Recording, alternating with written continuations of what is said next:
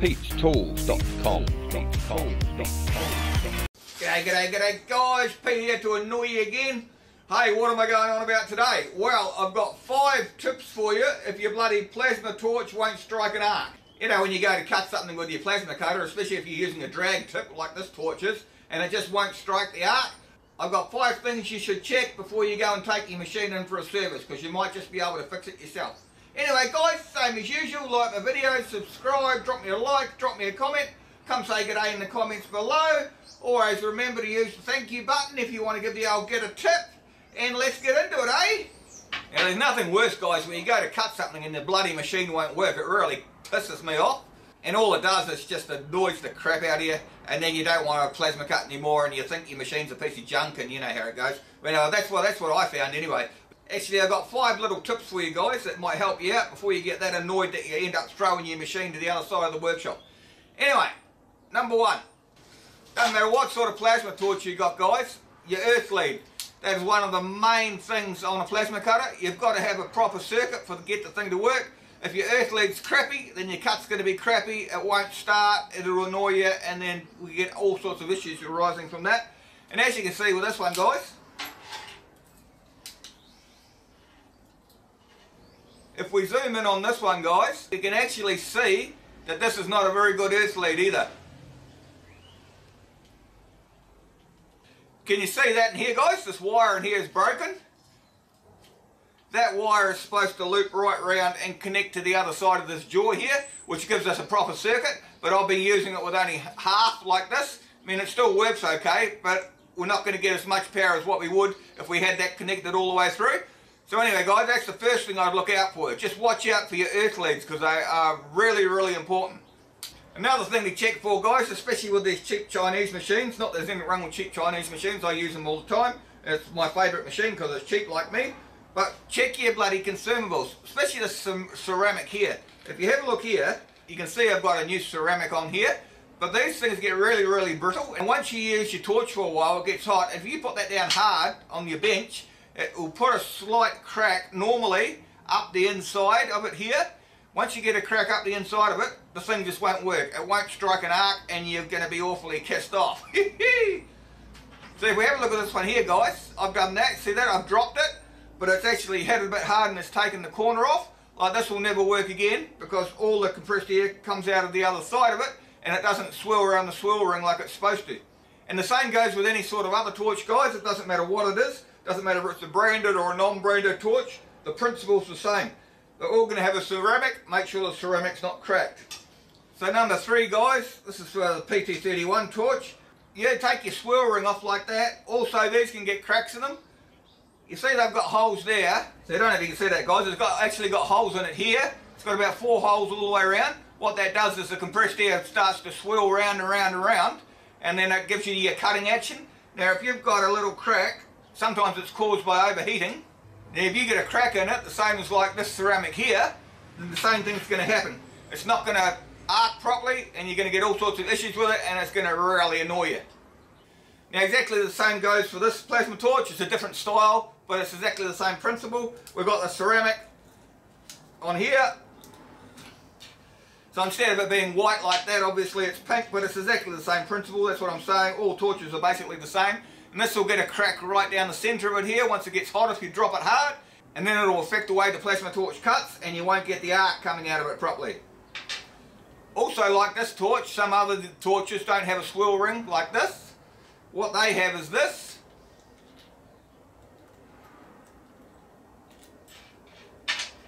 So if we have a look in here guys, if we can see in here. This one here guys has got a built-in swirl ring like some of the other main manufacturers of torches, they have a built-in swirl ring. Now if you have a look down here guys, you can see we've got ear holes coming out here, and here, and here. That's for the ear before it hits the ceramic. And our swirl ring, instead of us putting it on manually, is pressed into the torch down here, if you can see that. Now sometimes they get a crack in them as well, and these are unreplaceable in these torches, so you basically got to buy another torch if you have that sort of issue. But very seldom these get cracks in them because they're contained in this brass sort of holder thing here. Now another tip I've got for you guys, this style torch here, because it's got a screw-in electrode like that, make sure that there's no crap underneath where the electrode sits in here. Because if you have crap in here, it'll make a short circuit between the swirl ring and the electrode on the inside and it won't give you the spark on the outside. Now the PT31 torch guys is even worse for what I just showed you because these just have a plug-on electrode like so. So what happens here, if you have a look in here guys, you can see here there's, we're starting to get pitting on the inside of this holder and you can actually run your finger over it you can feel it's quite rough. I think you can see that in there guys. It's pitted and why it's pitted is because when you push this in here and then you screw your ceramic on the top like so even if it's tight, even if it feels tight, it vibrates. Every time it vibrates, it takes a little bit of chunk of metal out of here and it just pits it and pits it and pits it until you haven't really got a proper contact in there. So check that guys and if you find that you're starting to pit out like this one is here, you're going to either get a bit of sandpaper and clean it out or you can replace the cutting tip head. Right guys, another tip I've got for you is make sure that you check that the bloody switch and the torch is working. Because I've had it before, because this wire here runs all the way up the lead, all the way up into your torch, and it gets a little bit thinner when it gets to the torch handle about, about here. When they make these leads, they just clip it all together. Sometimes when you drag it around the floor, if you're as clumsy as me, it pulls the bloody clips out, and the switch doesn't work on the trigger. So make sure your switch is working. And you can obviously tell that by pulling the trigger.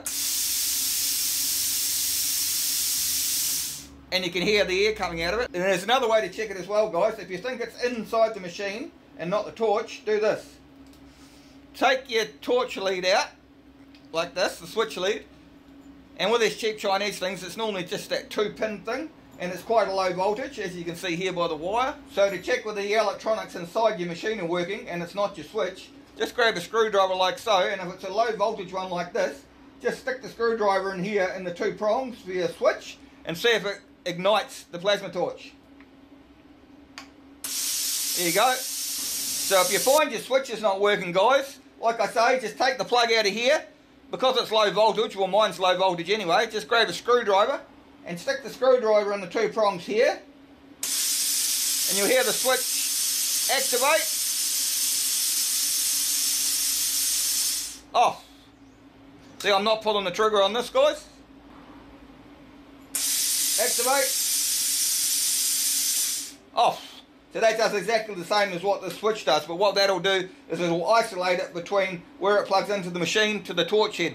So if one goes and the other doesn't, then you know it's either between the torch and the machine, or it doesn't go the other way around either, then you know it's the machine end. You can also do it with a multimeter guys, just stick one prong of your multimeter in here, the positive and the negative, pull the trigger on your torch and make sure you got connectivity between the two. That way you know that your switch is working.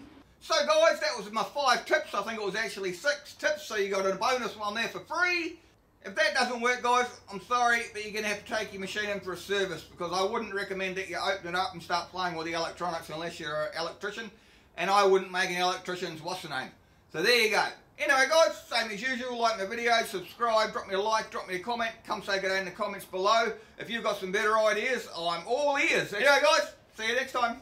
Bye. Holy moly guys, I almost forgot to tell you. If you're trying to bend steel and you haven't got a gas torch and you want to use your plasma cutter, check out this video up here. I might have some tips and tricks for you on how to be able to bend steel without actually cutting through it. So you can just bend it with a crescent or whatever to a different shape using your plasma cutter. Anyway, guys, bye. Pete'sTools.com.